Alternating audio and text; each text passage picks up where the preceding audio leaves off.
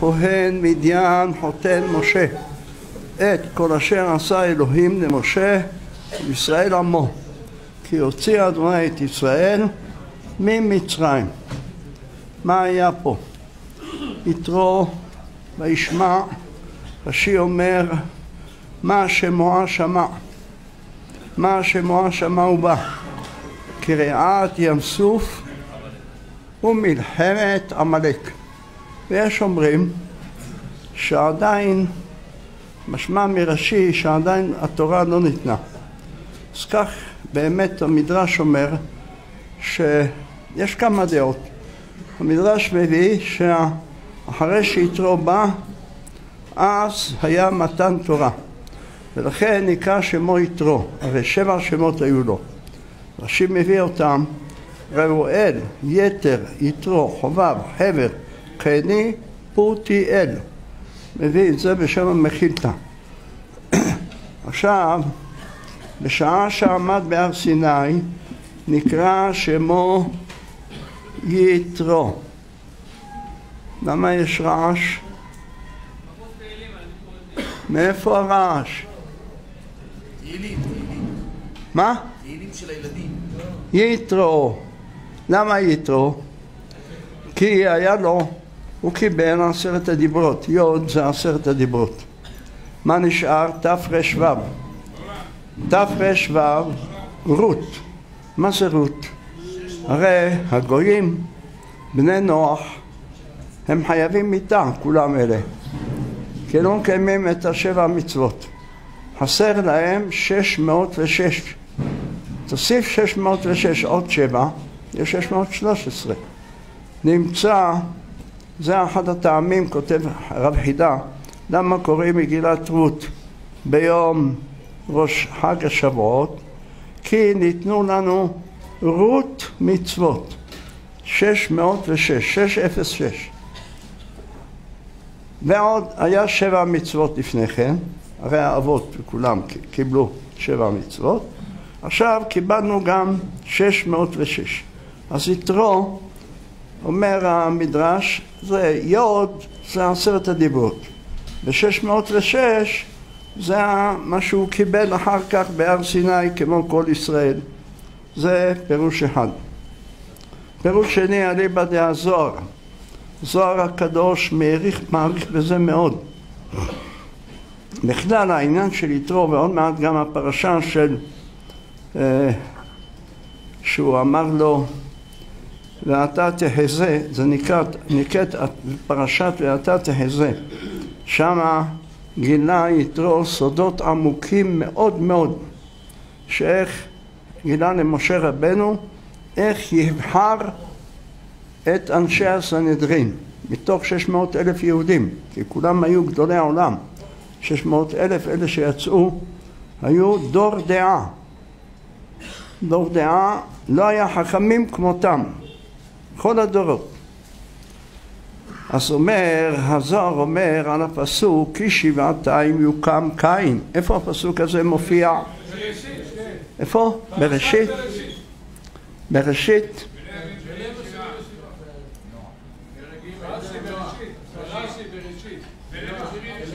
לא, יש כאלה שחושבים ברק. כן. שבעתיים יקם קין. יוקם ראשי תיבות, יתרו, קורח, מצרי. כך אומר הזוהר. מה העניין? אומר שיתרו, ידוע שהנשמות של ישראל גם, כולם נחלקים לשניים. יש נשמות שבחינת הבל ויש נשמות בחינת קין. לפי זה האופי ובדרך כלל הנטייה של האדם מהי. אז קין הם יותר קשים, יש שם יצר הרע הרבה, והבל פחות. זה יותר צעד החסד, יתרו, אה, קין זה גבורה. עכשיו, בקין היה בו גם רע, גם טוב, ועד היום. נשמות של קין יש בהם גם וגם וגם. אז היה הפסולת שהיה בקין, זה היה המצרי, שמשה רבנו הוא הבל. ככה הזוהר חוזר על זה כמה פעמים. איך כתוב בפסוק באיוב, מה שמו, מה שם בנו, כי תדע. מה שמו, מה שמו, אדם.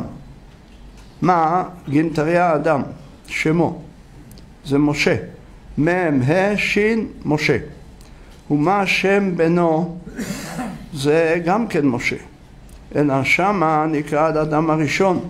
משה רבנו היה גם בחינת אדם הראשון. אז מה שמו, מה שם בנו, כי תדע, ככה אומר אה, הפסוק שם.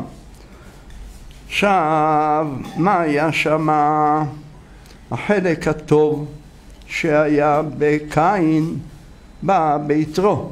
לכן יתרו, תחילה היה עובד עבודה זרה, אבל מיד הכיר את הקדוש ברוך הוא, התגייר, נעשה חותן משה, והיה יועץ גדול של משה רבן.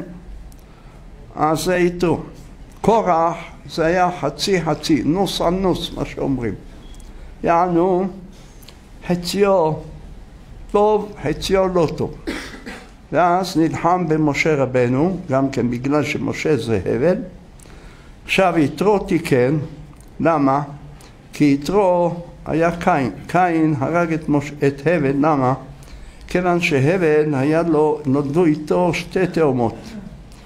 קין נולדה איתו תאומה אחת, וקין אומר להבל, אני הבכור, הוא מגיע לו פי שניים, מה אתה לוקח עוד אישה? והיה ויהי בהיותם בשדה, מה זה שדה? כי בשדה מצאה, צעקה נערה, ואין מושיע לה, על עסקי שדה. ויקום קין אל הבן אחיו, ויהרגהו, ולקח את התאומה שלו. עכשיו בא יתרו, והיו לו לכהן מדיין שבע בנות.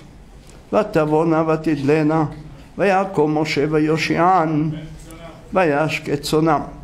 אם כן, משה רבנו, מה אומר יתרו? למה זה עזבתן את האיש? קראן לו, אה, מה קרה לך היום? ויאכל לחם. אני שומע הד. מה זה ויאכל לחם? לחם זה האישה, גם כן נקראת לחם. שנאמר, ולא הייתי אדם בבית כי אם הלחם אשר הוא אוכל.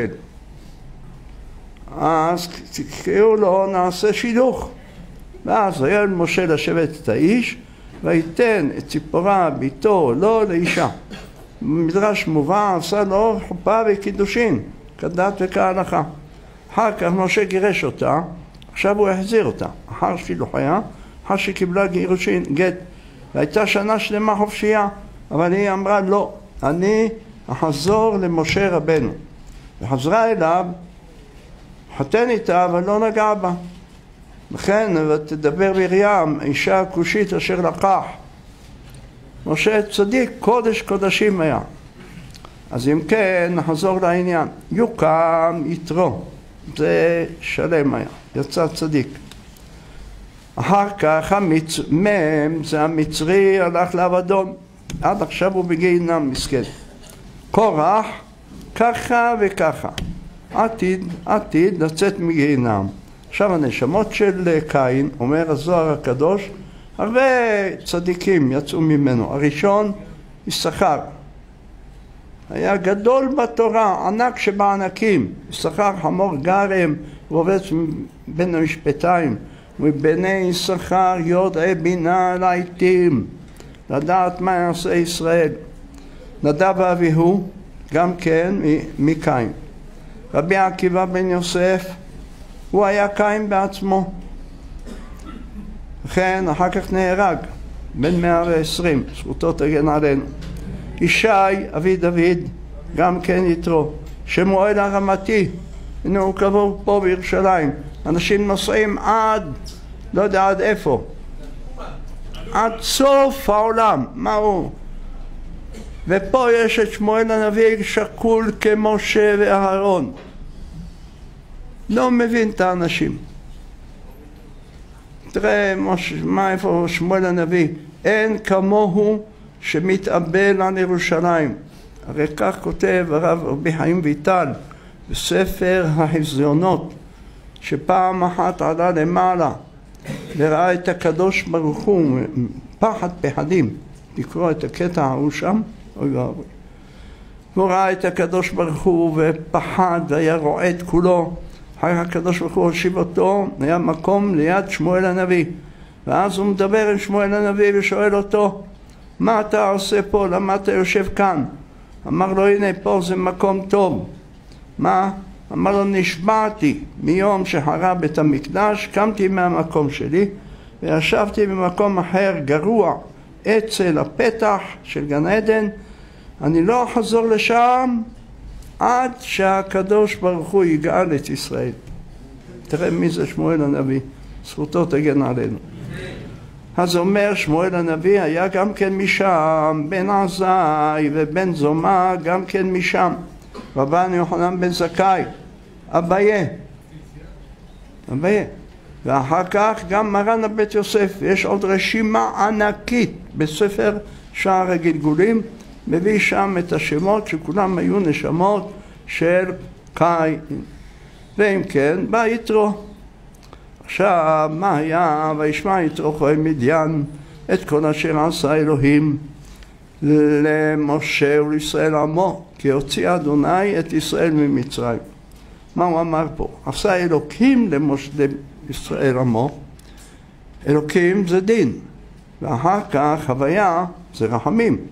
מה הוא אומר פה? כל אשר עשה אלוקים, שזה מידת הדין, למשה ולישראל, הפכו את מידת הדין למידת הרחמים, ונהיה גאולה.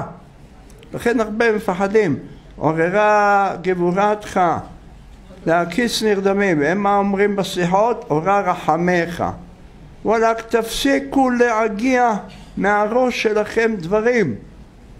זה במתכוון כתוב עוררה גבורה, עורר, פסוק, עוררה גבורתך ולך לישועתה לנו. איפה הפסוק מופיע?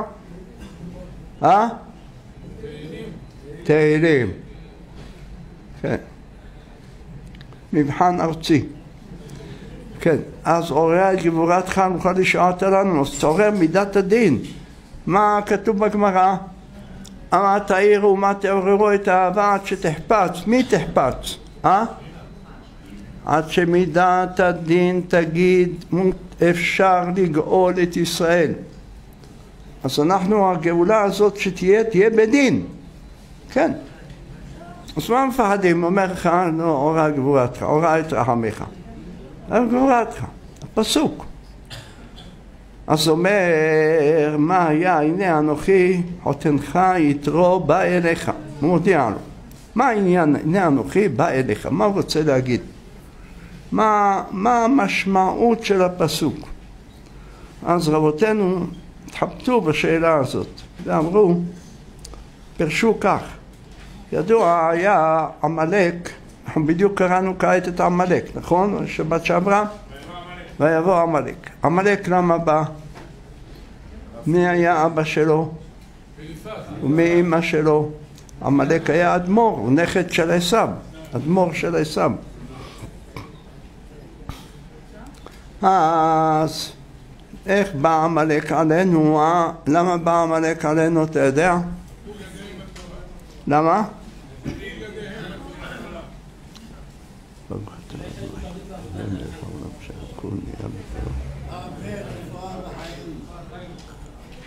אתם מתחילים לאכזב אותי.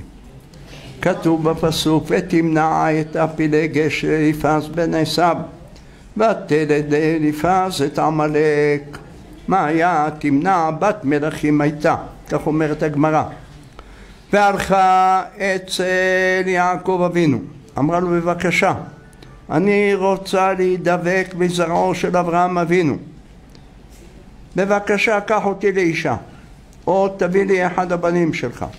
אמר לה לא, לא רוצה. אנחנו שומרים על תואר הדם שלנו. איך אברהם אבינו השביע את אליעזר ואנחנו לא רוצים ולא היא עזבה אותו ראתה שזה לא שייך הלכה לעשו עשו אמר לה יש לי מספיק נשים יש לו בלי סוף ואת מי שהוא רוצה הוא לוקח אני לא רוצה אותך גם והיא בת מלכים שלא תעשה לו צרות. והוא מחפש להסתובב. מה עשה אה, עשיו? אמר לה לכי אצל אליפז, הבן שלו, הוא היה תלמיד של יעקב אבינו, אז גם יש בו משהו מאברהם. הלכה אצל אליפז. אליפז אמר לה, יש לו אישה. אמרה, אבל בכל זאת, אמר בסדר, קח אותה פילגש. אמרה פילגש מוכנה. התחתנה איתו, יצא עמלק בר מינן, זה עושה לנו צרות. הנה זה העמלק עכשיו של הצפון, יימח שמו ושם אמו. איך ישרף באש. איי איי איי. מדבורה גדולה תהיה בעזרת השם, כי הוא שמן. יש הרבה מה לשרוף שם. אז תמנע הלכה והביאה את עמלק, השמע יתרו שמעו בא, שם מובן מה שכתב רש"י, שמע קריאת ים סוף, קריאת ים סוף כל העולם שמע, שמעו עמי מרגזון, חיל אחז יושבי פלשת, אז גם יתרו שמע. עכשיו, מה העניין מעמלק? הוא שמע מהסיפור של תמנע, אה? בוא הנה. הוא שמע שעמלק בא על ישראל, ולמה עמלק בא? בגלל שאימא שלו לא רצו לקחת אותה יעקב אבינו. אז עכשיו מה נהיה? נהיה הפוך. שמע יתרו, אמר אני אלך כעת ואני אדבק בזרע זרע אברהם.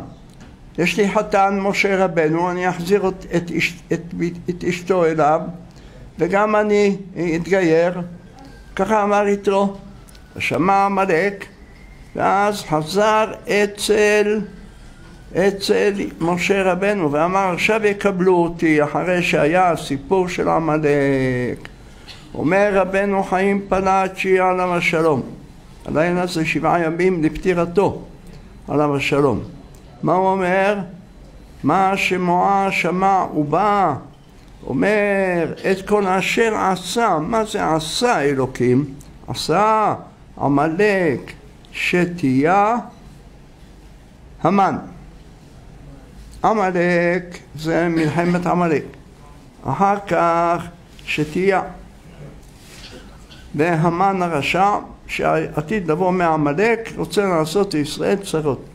אז שמע הוא בא, מיד הגיע והביא, והביא איתו את שני הבנים ואת שני בניה, אשר שמה אחד אליעזר כן?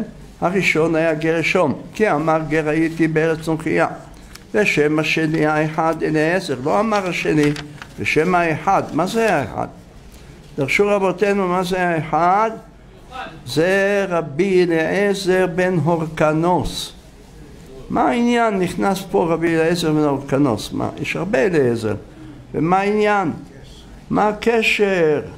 אלא, אלא יש פה, רבותיי, יש פה עניין גדול מאוד.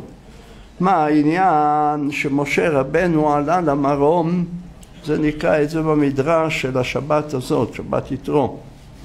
אז זה מובא גם במסכת שבת, אבל במדרש מובן תוספת. כשעלה משה למרום, אז היה שם, ראה את רבי עקיבא, יושב אחרי שמונה עשרה שורות ואמר לקדוש ברוך הוא, יש לך אחד כזה גדול ואתה מבקש לתת תורה על ידי?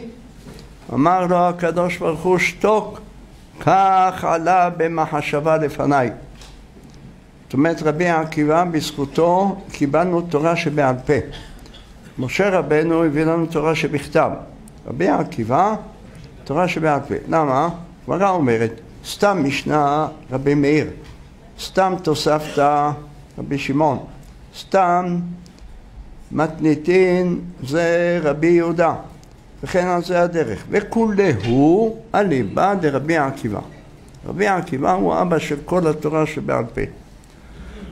אז זכה שרבי עקיבא הוא היה בחינת יששכר והוא עליו השלום נתן לנו את התורה. אבל שם היה שמע משה רבנו דרשה. חכם אחד היה אומר שם, שואלים אותו התלמידים, כמה זה עגל, כמה זה כבש? אמר כבש בן שנתו, שא בן, שנתי, בן שנתיים, כבש בן, שנה, בן שנה, נקרא כבש. אמרו לו זו מניין, אז חדשה דעתו של משה, מאיפה זה החכם יודע כל התורה, אני לא יודע עדיין את זה, לא למדתי אצל הקדוש ברוך הוא. פתאום שואלים אותו, רבנו זו מניין לך? אמר להם, הלכה למשה מסיני. שמע את זה משה, שמח. אמר לקדוש ברוך הוא, יהי רצון שיהא זה יוצא מחלציי. אני רוצה שהוא יהיה מהצאצאים שלי. אבל הוא היה כהן, אורקנוס אביו, כהן. מצד האימא, כך כותב ספר סדר הדורות, שמצד האימא היה משה רבנו, מהזרע שלו. אז הוא ראה מה שמועה שמע ובא. שם האחד אליעזר, זה אליעזר, רבי אליעזר הגדול, ראשי תיבות ראה. ומה ראה? זהו היה, מי היה אליעזר, אה? נשמה של מי? נו, מאיפה למדת? יפה אמרת. איך הוא היה ראובן? מה הקשר? נו? נו, נו. מכירת יוסף. לא, נו, אתה כעת הלכת כיוון אחר. טעית בדרך. מכירת יוסף היו תשעה, נכון? למה ראובן חזר לאבא שלו ואמר להם לשים אותו בבור ויוסף הוא בעצמו מכרו אותו בנימין בבית, אז כמה נשארו? תשעה רגע, אתה מפריע, מה קריאות ביניים? אני אקרא כעת ליושב ראש בקיצור, בקיצור, אז יצרפו את השכינה איתם, נכון? כדי שיהיו עשרה. עכשיו רבי אה, ראובן, ישוב ראובן אל הבור, וירקן יוסף בבור ויקרא את בגדיו. ויאמר הילד איננו ואני אנה אני בא. אני אנה ראשי תיבות. אין נקמות אדוני, אין נקמות הופיע, אחר כך עשרה הוגי מלכות. אז שמה הזוהר הקדוש, הזוהר הקדוש על, על נו, על מגינת איכה, מדרש הנעלם, שם אומר רבי שמעון בר יוחאי, ועל ראובן דישתב זיו בבירה, אז לכן רבי אליעזר קרא איתו מה שקרה, הרי רבי אליעזר בסוף ימיו נחלק על חכמי ישראל, הוא היה גדול הרבנים. מעשה תנור של עכנאי, חכמים אמרו תנור של עכנאי, תנור, תנור שעשוי חוליות חוליות. מה הדין? האם הוא מקבל טומאה או לא מקבל טומאה? רבי אליעזר מטהר וחכמים מטמאים. ואז התחיל לריב איתם. מה אמר להם? אם הלכה כמותי, נו?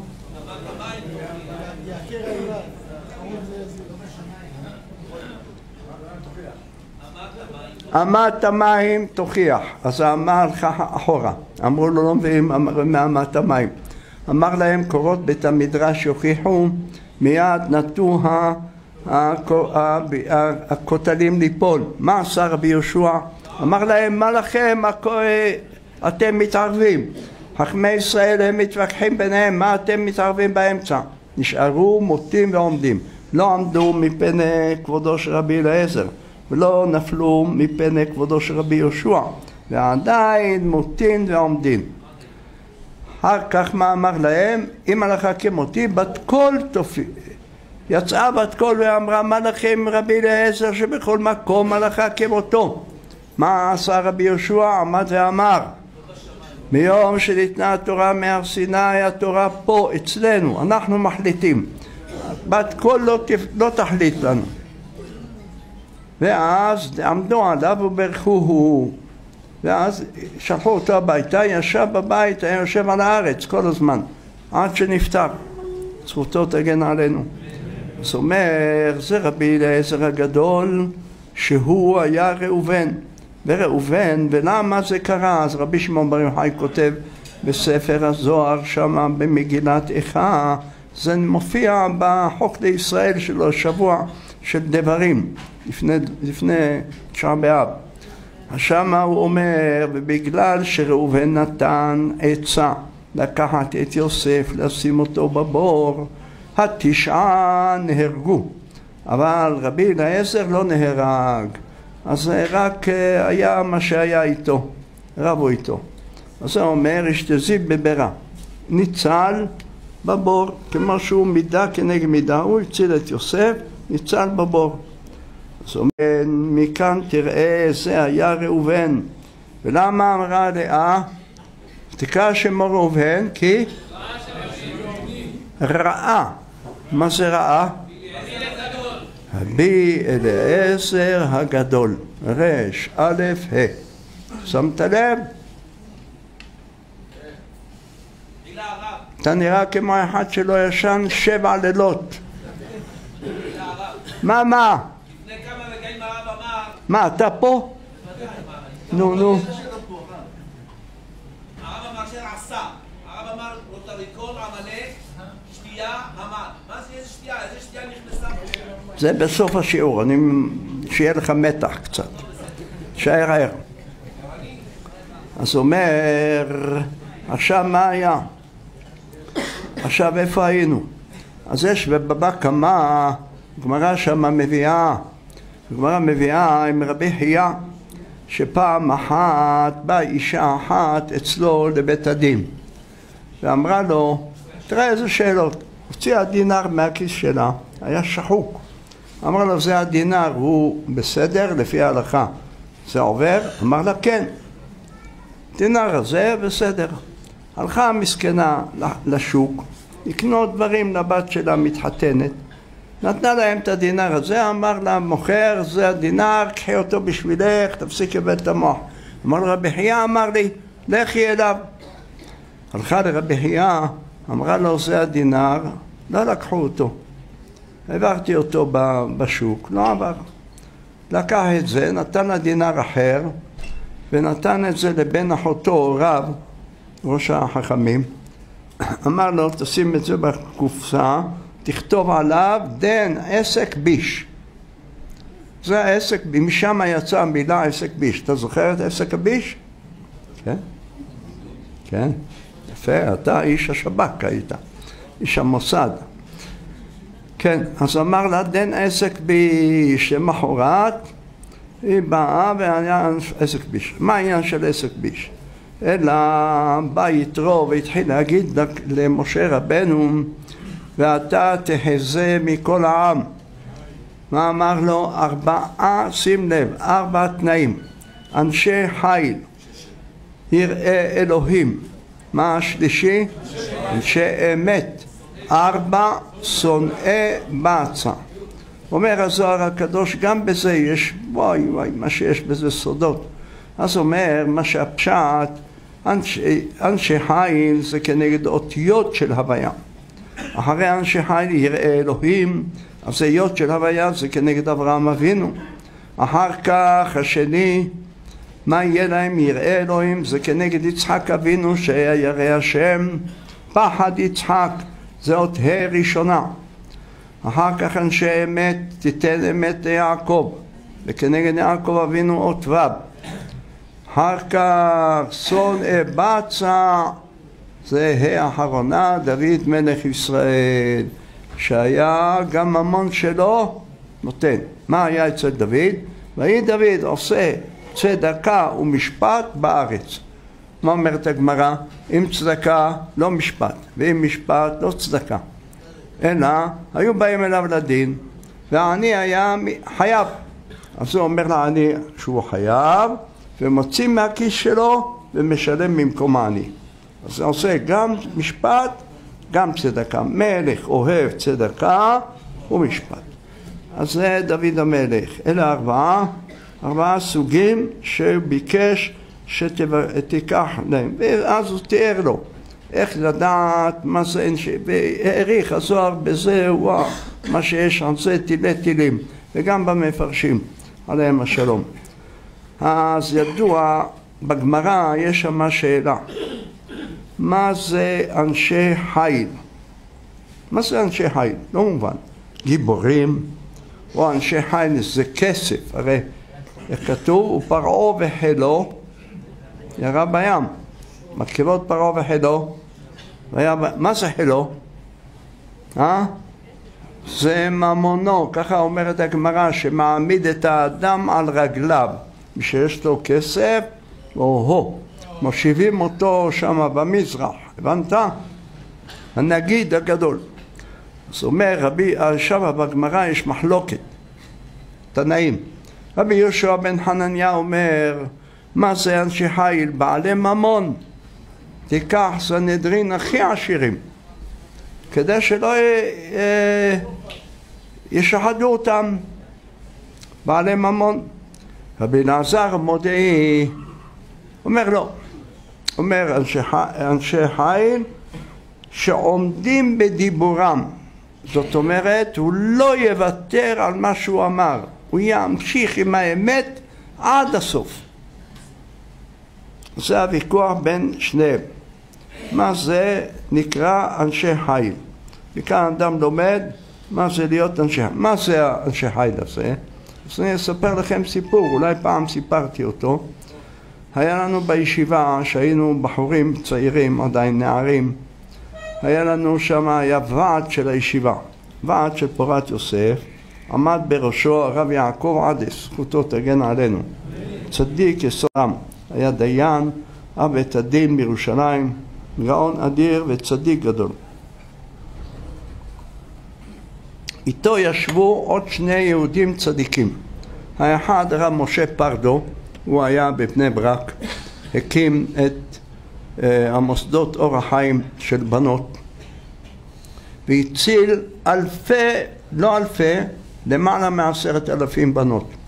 אני מכיר הרבה חברים שלי התחתנו עם הבנות של אור החיים, מכל הארץ. והיה להם שם פנימייה, והביא את המורות הכי טובות, ורבנים חשובים ביותר, היה בודק כל דבר ודבר. חסיד, קדוש, צדיק יסוד עולם. הקים גם ישיבה בבני ברק, והיה לו קהילה שם, אור החיים. הרב שמעון בעדני, הוא מינה אותו. הוא מינה את רבי שמעון בעדני שיהיה הרב של הקהילה. בקיצור, ואיתו היה חברו רבנו יום טוב פוליטי, זה שם פרטי, רבנו ידוע בטורקיה, אם היה רוצים שהבן יתקיים, למשל אם חס ושלום אישה מביאה בנים ולא מתקיימים, קוראת לו רבנו. עכשיו מה היה?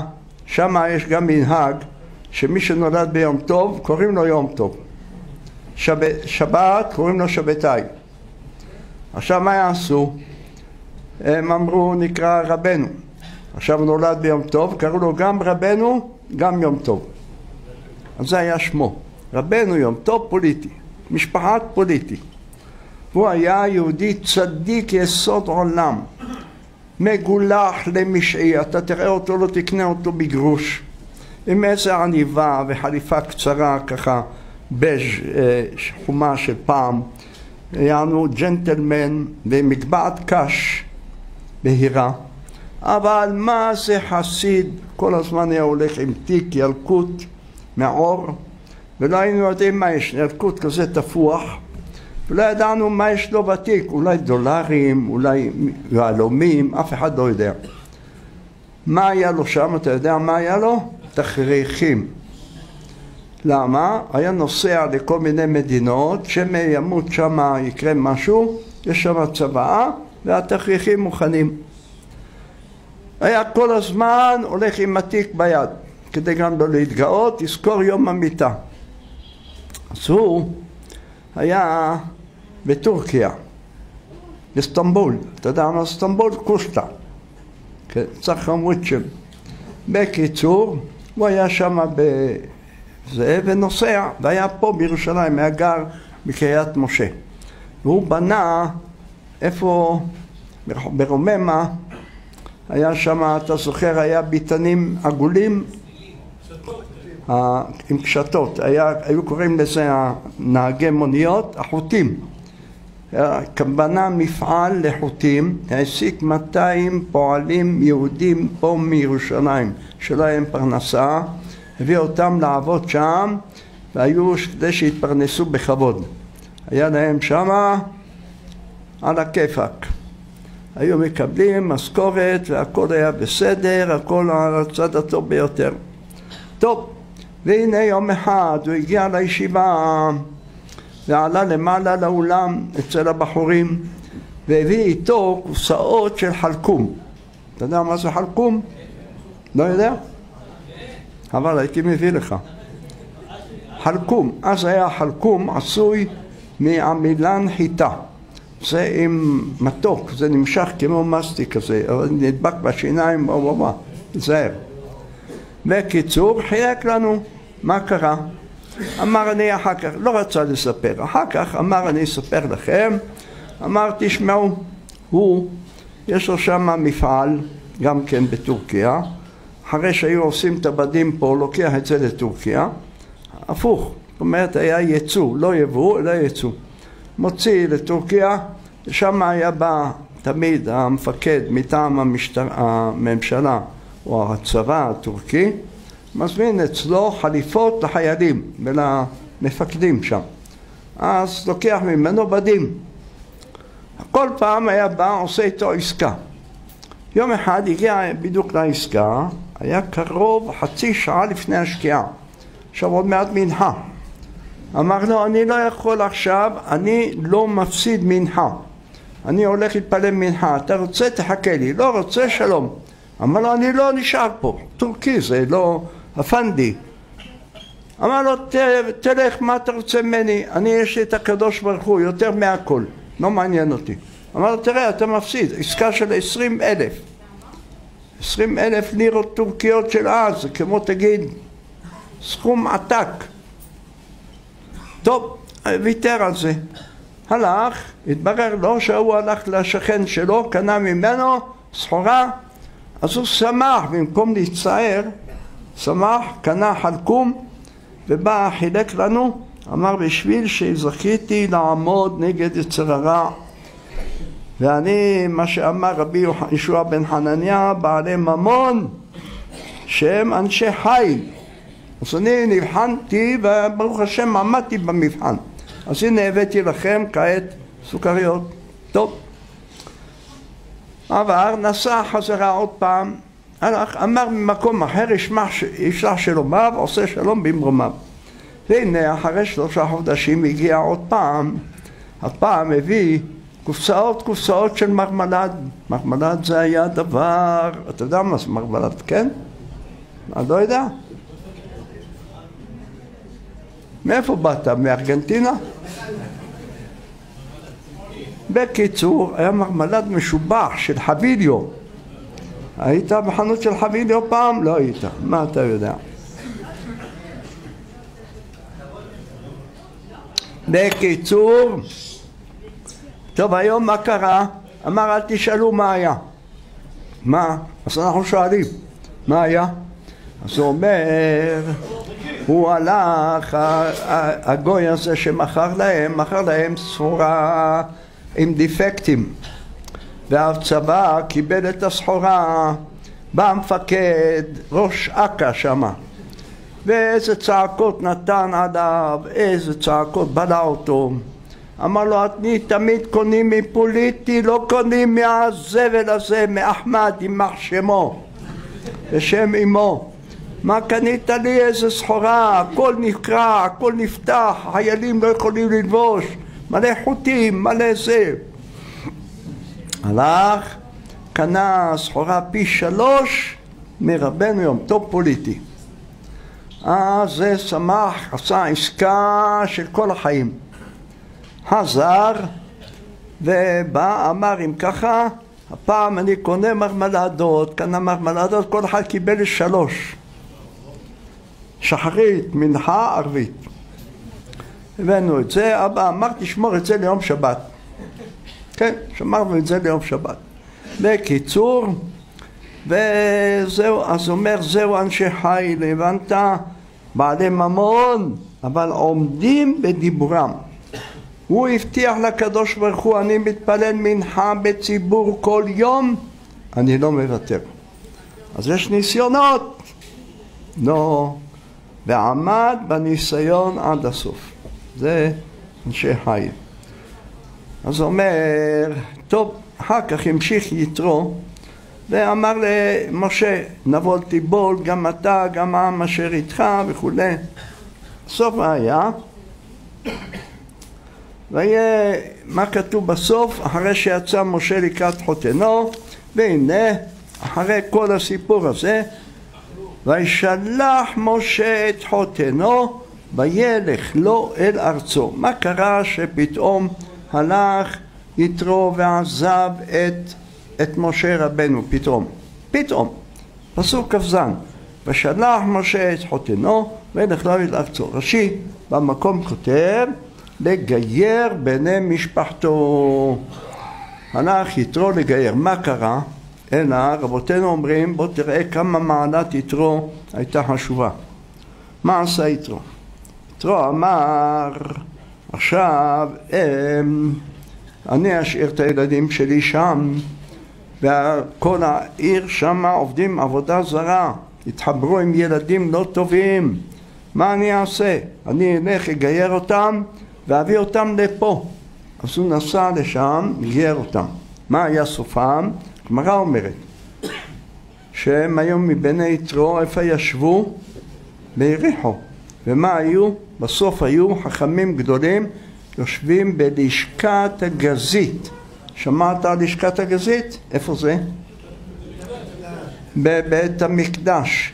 ולמה קראו לה לשכת הגזית, אה? אה? למה זה לשכת הגזית? מה, לא שאלת עד היום? אלא עשו אותה מאבני גזית שהיא, זה שיש יקר מאוד, בנו אותה. ועשו אותה כמין גורן עגולה, חצי גורן עגולה, חצי ירח. והיו יושבים שם הסנהדרין. וחצייה היה במקום של חול וחצייה בתוך העזרה של בית המקדש. אז חצייה בהר הבית, חצייה בעזרה. לכן קראו לה גזית, יענו גזור לחצי, חצי, חצי חצי. ואז הבנים שלו ישבו בלשכת הגזית, ואחרי זה גם הזרע שלו אחריו, היו מסנהדרין, עד כדי כך, תראה זכה, אז הם היו אבנים מיוחדות מרובעות מכל צד ומבריקות כאלה. והם היו, השם שהיו חציים בחול, חציים בקודש. אחר כך אה, התחיל מתן תורה, מה הגמרא אומרת במסכת שבת? גמרא בשבת דף פח קוראים את זה בליל שבועות, חצי ישנים.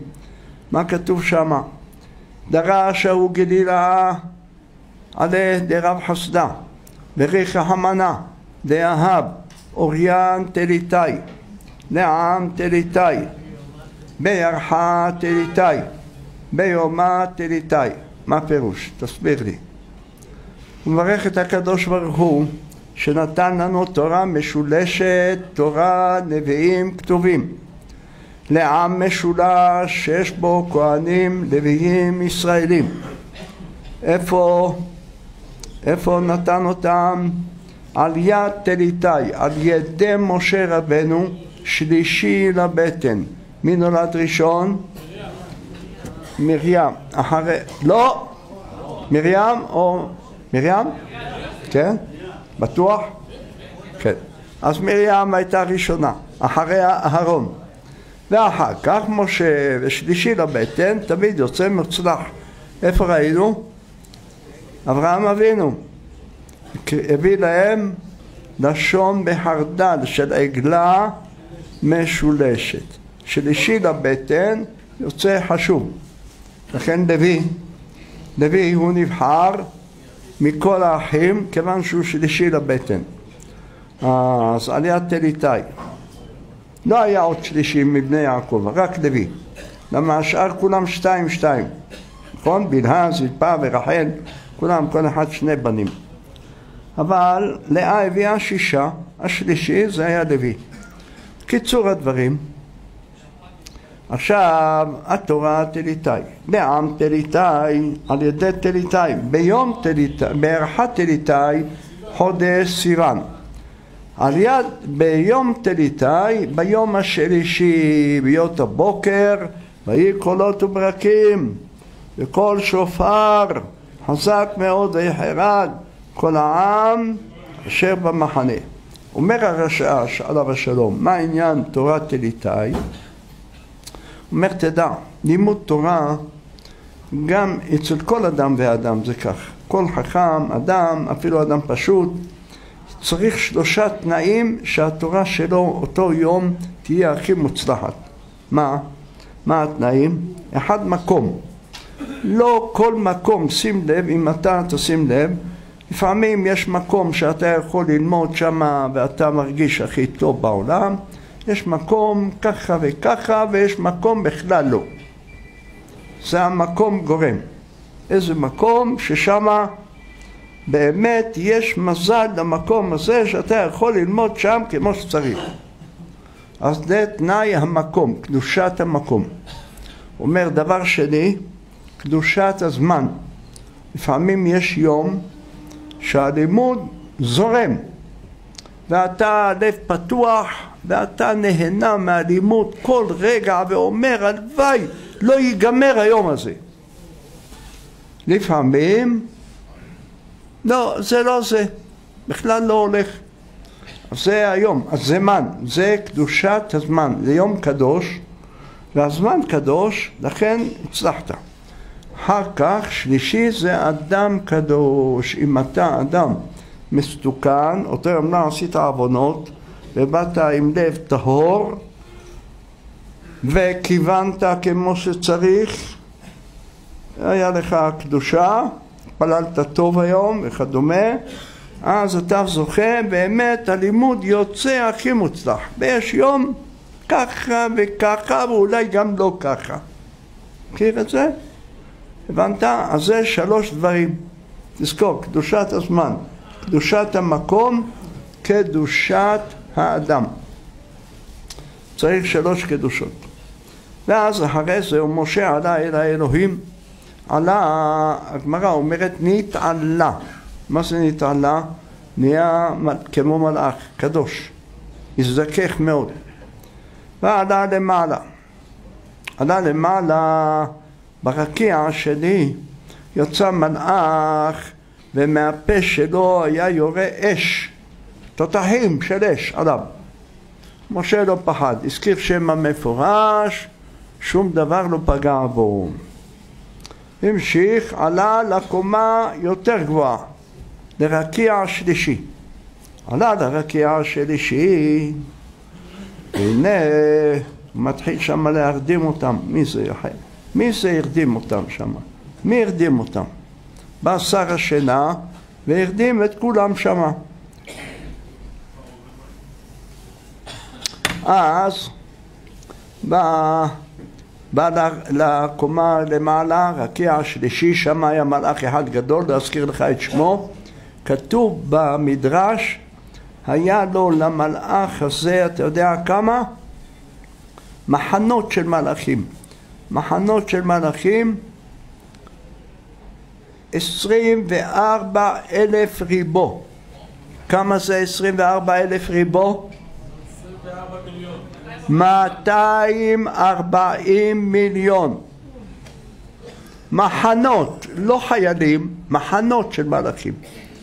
240 מיליון מחנות של מלאכים לעמוד מול משה רבנו. אז הוא צעק לקדוש ברוך הוא, אמר לו מתיירא אני שמא ישרפוני בהבל שבפיהם. מהפה שלהם יוצא אש. אז כל אחד חושב, הוא עולה למעלה, מדבר עם הקדוש ברוך הוא, יעמוד מול כיסא הכבוד. שמעתי יום אחד בשוק במחנה יהודה אחד, אומר, איך הוא יעמוד לפני כיסא הכבוד, הוא יעמוד ליד כיסא הכבוד, מג'נון, חושב. משה רבנו פחד לעמוד שם.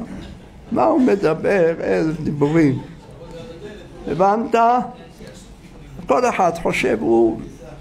בקיצור, ואז הקדוש ברוך הוא מעשה, כתוב פרשז עליו עננו. מה זה פרשז?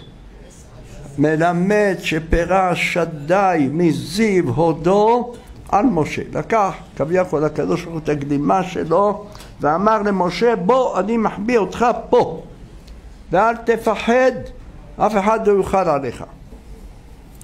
ואז קיבל את התורה, משה רבנו עלה למעלה. ומשה עלה אל האלוהים, עלה נתעלה. עכשיו, מה היה המלאכים? התחילו לריב איתו. עכשיו לא מובן. מה ענה להם משה? מה אמר להם? אמר לו, אמרו לו לקדוש ברוך הוא, עמדה גנוזה, תתקעת דורות קודם שנברא העולם. כמה זה תתקעת? 974 דורות. שנאמר, דבר ציווה לאלף דור. תוריד עשר, עשרה דורות מאדם עד נוח, ועוד עשרה דורות מנוח עד אברהם, ועוד שישה דורות, אברהם, יצחק, יעקב, לוי, קהת, עמרם. אז הנה יש לך 26, תוריד 26 מהאלף, כמה נשאר? 974. בסדר, מדויק. בקיצור, תתקע הדורות. אתה מבקש שתנה לבשר ודם, מה אנוש כי תזכרנו. עכשיו רגע, מה, מה, מה השאלה בכלל? מה כתוב בתורה? משה רבנו עונה להם, הרי לא תרצח, לא תנאף, לא תגנוב. יצר הרע יש ביניכם. מה, מה רוצים המלאכים בכלל? מה פתאום הם מדברים? זו השאלה. הרי יש שם הכל עניינים של יצר טוב, יצר רע וכולי. תרי"ג מצוות זה לא שייך בהם. גם אלף שנה היה שם, הם לא התעסקו עם זה בכלל. מה, מה, מה? גם כל השנים שזה היה בשמיים, לא התעסקו עם זה בכלל. לא הבנתי כלום מה אמרת. אני אומר, גם 974 שנים שזה היה שם בשמיים, לא התעסקו עם זה בכלל. לא, אבל זהו. אז אתה איתי או אתה איתם? לא, אני כבר עם משה. אה, אתה איתי, בסדר, אז זה בסדר. עכשיו הבנתי, אתה מכוחותינו זאת אומרת. בקיצור, אז אומר המגיד מדובנה, אומר בוא אני אספר לך סיפור. על זה סיפור הכל התיישב. אומר היה פעם בעיירה אחת היה חכם גדול מאוד, גאון אדיר. לא היה דבר בתורה שלא היה יודע, וגם חריף מאוד, בקיא וחריף. סיני ועוקר הרים. בקיצור, והוא גדל וגדל וגדל, אבל היה באותה עיירה עוד רבנים. יום אחד באו אנשי העיר שיש שם, אה, עיר גדולה הייתה, וביקשו חכם. אז אמר להם, הרב, תיקחו את זה, הוא תמיד חכם עצום, יכול לנהל יופי. אז בסדר, הכינו הכל, לקבל את פניו עוד חודש ימים, עשו לו שם תפאורה, יחי אדוננו, ברוך הבא בשם השם, וולקאם, וכולי וכולי וכולי. בקיצור, באו לקבל את פניו, והנה יצאו אנשי העיירה כולם, מאיש ועד זקן, מנער ועד זקן. הביאו איתם מקלות, אבנים, מה לא, התחילו להרביץ להם, תסתלקו מפה, אתם לא לוקחים את הרב. הוא אומר, סיכמנו איתכם, מה אתם מבלבלים? אמר, אתם לא לוקחים, הוא מגן עלינו, אנחנו לא מוותרים עליו. טוב, אחרי זה הקימו ועדה, מה עושים? מקימים ועדה, נכון? ויש שיחות. אז הזמינו את המתווכים, מתווכים באו, התחילו לדבר ביניהם וכולי וכולי, הסכימו, אמרו בסדר, אנחנו ניתן. מתי? עוד חודש וחצי בתאריך כך וכך. באו עוד חודש וחצי, עוד פעם. באו לקחת אותם, והנה עוד פעם, הפעם יצאו איתם עם ברזלים ולומים, מה לא? הוא מה הולך פה? מה סיכמנו איתכם, היה ועדה, היה זה, לא רוצים, לא אתן לכם אותו. וצעקות ורעש ובלאגן שלושה ימים, שלושה לילות. טוב, הלכו, עוד פעם הקימו ועדה, דיברו איתם ובאו החכמים ואמרו להם זה לא יפה, זה ככה, בוא נסדר, הסכימו, אמרו בסדר, פעם שלישית עוד פעם. אמרו להם מה זה קורה? אמרו אני אגיד לכם מה, אם אנחנו ניתן לכם אותו בשקט אז אתם תגידו שהחכם הזה הוא לא כך אה, טוב, אז לכן ויתרו עליו אנשי העיירה. אנחנו רואים לכם שזה אכפת לנו ואנחנו מכבדים אותו ואוהבים אותו ולכן אנחנו, מה, אבל מה נעשה? יש לנו רבנים ואתם מלכים רב, אנחנו מסכימים אבל אנחנו, אם נשתוק תחשבו שהוא זה ואז תרכבו עליו שתדעו כמה הוא גדול שאנחנו מוסרים נפש בשבילו אז לכן רצ... עשינו את הרעש הזה. אומר אותו הדבר המלאכים. אם היה בא משה רבנו כמו, כמו שצריך והכל בסדר והכל שקט והיה מקבל את התורה, אז מה היו אומרים חלילה? היו, יש אצלנו כל מיני העיתונאים והזה, אה, חס ושלום, מי יודע התורה מה יש בה, הרבה בעיות, הרבה זה, חס ושלום. ולכן המלאכים ויתרו, והמלאכים נתנו אותה, וחיכו להתפטר מהתורה. אבל ראו שהמלאכים רבו, ומשה רבנו עלה למרום, ונצח את מלאכי מרום, ונלחם איתם, והוציא את התורה בכוח. עכשיו אתה יודע לכבד את התורה. התורה היא, הוא לקח אותה עם מלחמה. אז לכן אמר, זה הסיפור, זה הסיבה שככה היה. ואם כן, הכל בא על צד מקומו בשלום. בקיצור, לכן אמר משה עלה אל האלוהים. מה היה מהילוד אישה בינינו? מה, אומרת, מה אומר המדרש? מה עשה הקדוש ברוך הוא? צייר דמותו של משה כדמותו של אברהם אבינו עליו השלום. ואמר להם, לא זה שבא עליכם, שבאתם אליו ואמר לאשתו מהרי שלא שאים קמח סולת, אתה יודע כמה זה שלא שאים? שאה שישה קבים. כל קו זה קילו מאתיים וכמה גרם. תאר לך כמה אה, חיטים הוא עשה בשבילם, קמח סולת. מה, לושי ועשי עוגות. אז אם כן, מה קרה ששמה אתם אתם, אה, זה, לא זה שאכלתם ושתיתם אצלו, מה? מיד הדאוד הכתיב, עלית למרום, שבית שבי. לקחת מתנות באדם ואף מלאכי השרת נתנו לו כל אחד מתנה. וגם פלוני, השטן, השר של אובמה, נתן לו מתנה. מה נתן לו? קטורת. אמר לו שיש קטורת הוא לא יכול לקטרג. אז אומר, מה העניין שהבין אמר אכלתם אצלו? זו השאלה ששאלו. אז הנועם אלימלך עליו השלום כותב שהעניין הוא שבגמרא מובא שאם בא אדם ואומר לך רוצה, הוא שוחט או הוא מוהל או נגיד איזה מלאכה, סופר או חזן אתה צריך לבדוק אותו.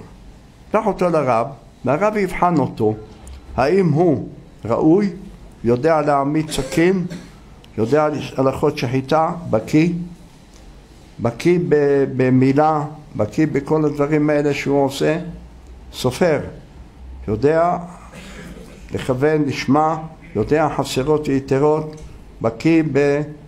כסדרן, לא כסדרן, יש בזה הרבה הלכות. אז חוקר אותו, בודקים. אבל אם בא אדם ואומר שהוא רעב, תן לי אוכל, לא אכלתי יומיים, אני רעב, תן לי משהו לאכול. אין בודקין למזונות. תיקח אותו, תן לו לאכול, יברך, הכל בסדר, אין בעיה. אז יוצא שעל מלאכה של מלאכת הקודש אנחנו בודקים. אבל דבר שלא שייך למלאכת הקודש, לא בודקים. היה מעשה, אז אומר הנאום אלימלך שהיה מעשה איתו, הוא ואחיו רבי זושה, זכותם תגן עלינו. הלכו פעם אחת לאיזו עיירה ונתנו שם דרשה, אחד בלילה, אחד ביום, אחד חכם בלילה, אחד חכם ביום, נתנו דרשות. אחרי הדרשה, סיימו את הדרשה בליל שבת ובאו ללכת, כל האנשים ברחו ולא היה להם איפה להיות. נשאר הרב של הקהילה. הרב של הקהילה רואה אותם, מה, מה, מה, איתכם אתם? בסדר, אמרו לו בסדר, מה בסדר? יש לכם מה לאכול? לא. איפה אתם לנים? אין לנו שום מקום. אז תבואו אליי. לקח אותם והתחיל לשאול אותם, מה אתם עושים? איפה הייתם? מאיפה למדתם תורה? אמרו לו, גמרא, אתה עושה הפך מהגמרא. בגמרא כתוב שבענייני תורה אתה צריך לחקור ולדרוש, דרשת וחקרת. ואילו בענייני עולם הזה, אוכל ושתייה ולינה לא בודקים. אין בודקים במזונות, מפורש בתלמוד. זה מסכת בבא בתרא, דף ט', ככה אומרת הגמרא. אין בודקים למזונות. אז אמרו לו, אתה צריך. כן אומר גם כאן, משה רבנו עלה למרום, מה אמר להם הקדוש ברוך הוא? לא זה שאכלתם ושתיתם אצלו, זאת אומרת, כי אין בודקים למזונות. למה עכשיו אתם פה, הוא בא לקחת תורה, אמרו לו, זה תורה, אנחנו רוצים לבדוק האם אה, יקבלו את התורה או לא יקבלו, האם ישמרו עליה. זהו, אומר הרב רבי שאול דואק עליו השלום, עלית למרום שרית שבי.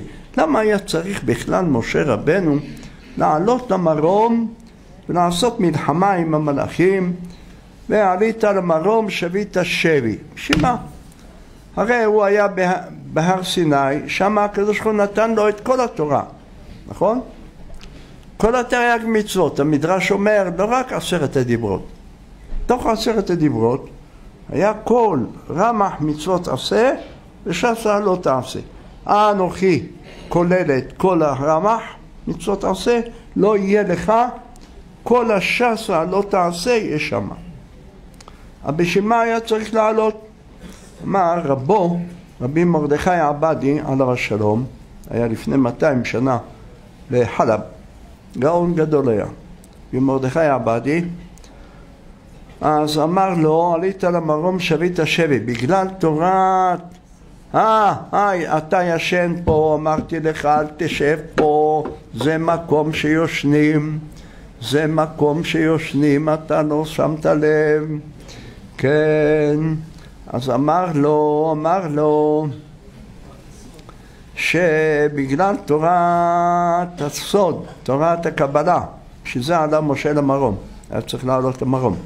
שנאמר, עלית למרום, שבית שבי, שבי ראשי תיבות, שמעון בר יוחאי. וכן אחר כך בא רבנו הארי, יצחק בן שלמה. אחריו בא הרשע, שלום בן יצחק. אלה שלושה. בגלל השלושה האלה הקדושים, עלה משה למרום כדי להביא לנו את התורה. עכשיו מה השאלה? מה ילוד אישה בינינו? למה אמרו אישה? מה נכנס האישה באמצע? מה זה קשור ילוד אישה או ילוד איש? מה זה קשור? בן אדם. אלא יש לנו הלכה שאם אדם מוכר שדה או מוכר בית צריך קודם לשאול את השכנים אם הם מעוניינים לקנות דינה דבר מצרה בן המצר, מי שנמצא לידך, תשאל אותו. אתה רוצה לקנות את השדה? יש לי קונים במחיר מחיר זה וזה. אם תיתן לי, אני אתן לך ולא לא. אני אגיד לך לא רוצה, בסדר, תמכור, שם איתך. אז הוא אומר, אבל אם בא אחד שהוא הבן שלו, והוא אומר, אני קונה, הבן קודם. לכן הם שאלו, מה ילוד אישה בינינו? מי זה אבא שלהם, מי, מי אימא שלו, זה שבא לפה. בן קודם. אז אומר הרב שבט מוסר, מתרץ תירוץ אחר, הוא גם הקשה את השאלה הזאת. תשמע איזה תירוץ הוא כתב. כתב שבגמרא כתוב, יש עוד סעיף בשולחן ערוך מובא, שאם היו נשים רוצות לקנות את זה, אישה, היא קודמת לכל העולם. נשים קודמות. לכן שאלו, מה ילוד אישה?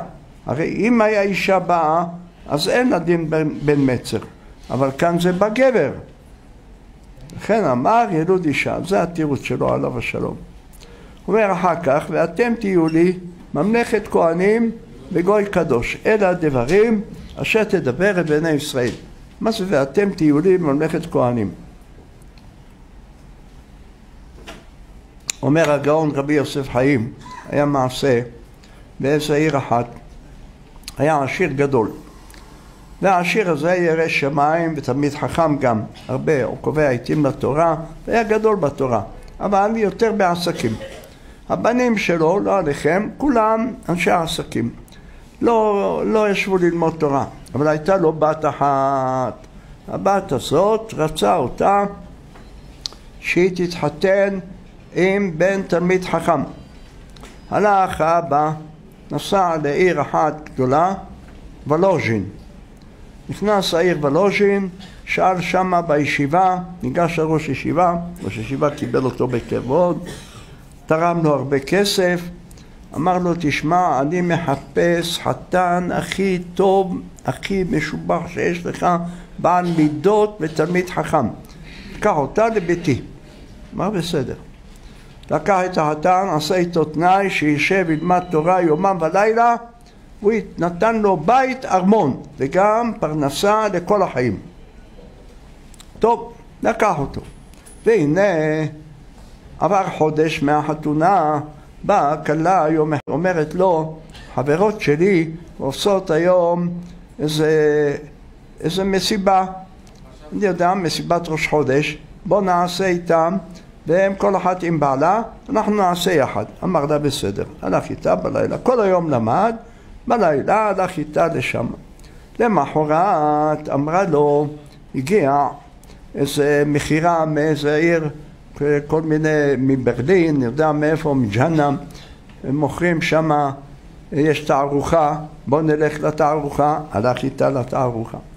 וכן הלאה, כל לילה היה משהו אחר. עבר שבעה לילות, בלילות זה הולך מטייל איתה כל לילה, מה שהיא רוצה עושה.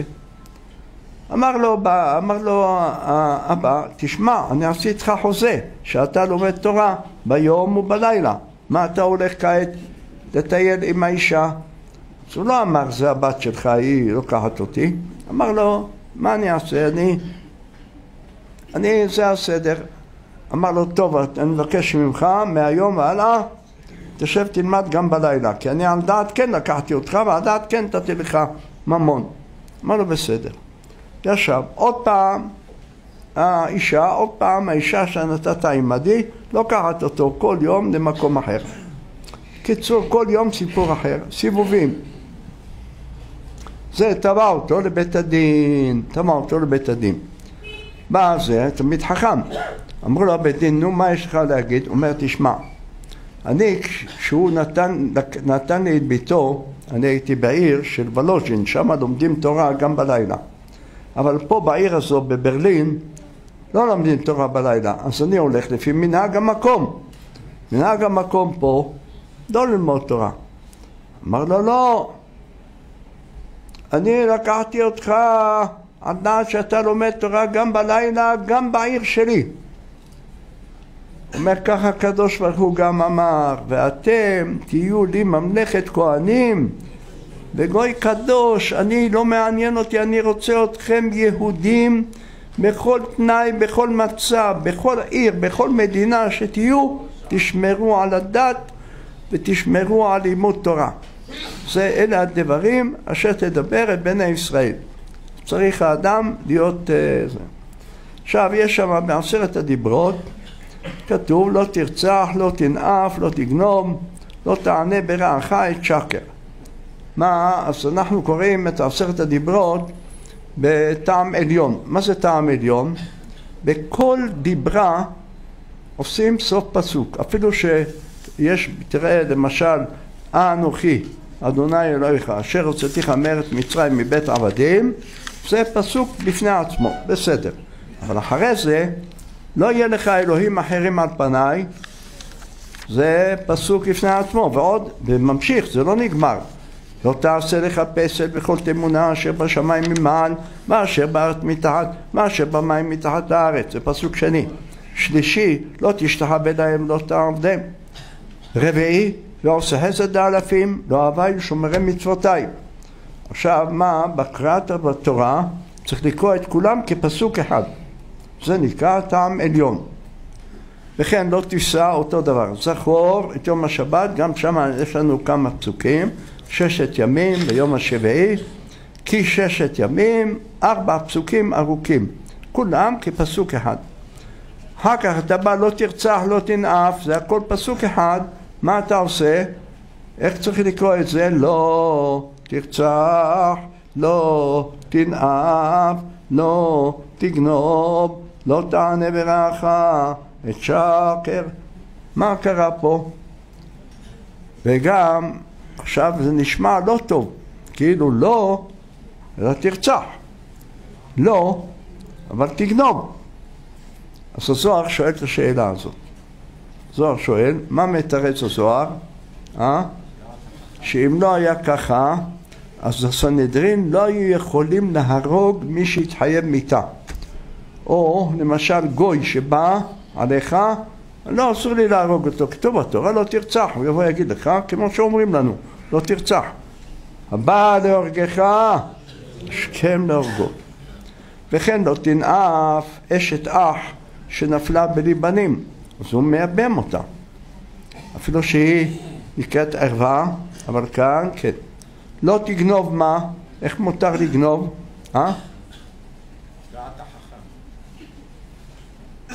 החכם יגנוב את דעת התלמיד, לא דעת החכם. החכם, מה יעשה? שואל את התלמיד שאלה הפוכה, בשביל לראות אם הוא יקלוט שהוא, שהוא אה, מרמה אותו או לא. מותר לרמות כדי לדעת עם התלמיד, כדי שהתלמיד יהיה משונן. היה לנו עליו השלום, הרב מנצור בן שמעון, היה מלמד אותנו. פעם, יום אחד, אמר, היה איזו סוגיה קשה. אמר לאיזה תלמיד, תלמד, תפרש. מפרש. מה, ככה הפירוש? ככה הוא היה רציני. ככה הפירוש. זה נבהל. התחיל להסתכל, התחיל להתבלבל, כן, כן. אחרי דקה אמר לו, כן, תגיד לי כן, ככה הפירוש. זאת אומרת, צריך החכם לחדד את התלמיד. אז זה מותר לגנוב את דעתו כדי שיהיה כמו שצריך. אבל יש ביאור שהיעבץ כותב. מה יש? בגמרא מסכת בבא בתרא, דף מ"ו, שמה מובא לגבי אדם שיגבה בריבית. אז מי עובר על עבירה של ריבית? והוא עשה שטר, ובשטר כתב שהוא הלווה פלוני לפלוני אלף ויחזיר לו אלף מאתיים בעוד שנה אלף מאתיים זה מי עובר על העבירה? הגמרא שמה אומרת ארבעה. הלווה, המלווה, הערב, לא ערב, ערב, ערב. ערב זה תלמד שם בוולוז'ין. ערב, ערב זה הקבלן. יש ערבות קבלן שהוא מקבל מראש, זאת אומרת בלי, בלי לפנות ללווה, ישירות אתה פונה אליו. וכתוב בגמרא סימן עמלק וכל המפרשים תמהים מה, לא מצאו משהו אחר לכתוב סימן רק עמלק? מה נכנס עמלק פה? ערב, מלווה, ראשי תיבות, ערב, מלווה, לווה, קבלן תכתוב סימן קלמה, אני יודע מה, תכתוב משהו אחר.